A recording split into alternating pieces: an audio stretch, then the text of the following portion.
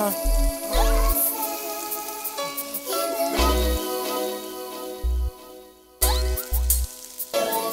I had a girl I was really feeling.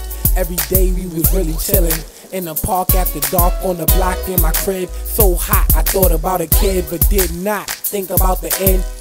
Kinda funny, it's crazy. I ain't laughing, I'm crying. I ain't give up, I'm trying to make it better. I guess my shorty really was lying, saying forever. That's what she wrote in the letter. I should've knew better. But when it was hard times, she gave me mad cheddar. I guess the money went to my head. Either that or what we get in the bed. Got the pussy in head every day on the rag, and I was getting the fed. Huh? Cause I ain't eat it, I beat it and hit the blunt. Uh-huh. But if she was here now, I give her what she want. She said I ain't call enough, I call a little more. She want me to exercise, I play a little more. She like when I got cash, I get a little more just so I could give it to her all. I thought when you fall, you bounce back like a ball. But this time I fell and had no one there to call. It's never funny when you put your hand in the sky for a lift, but the only thing you get is a surprise. Cause the bitch that you wanted to lift you was not with you. Now every time I think of my shorty, I need tissue.